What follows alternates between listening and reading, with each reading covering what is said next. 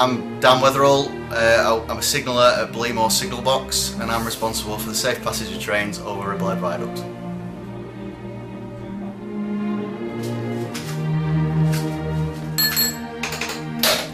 That's the steam train on its way.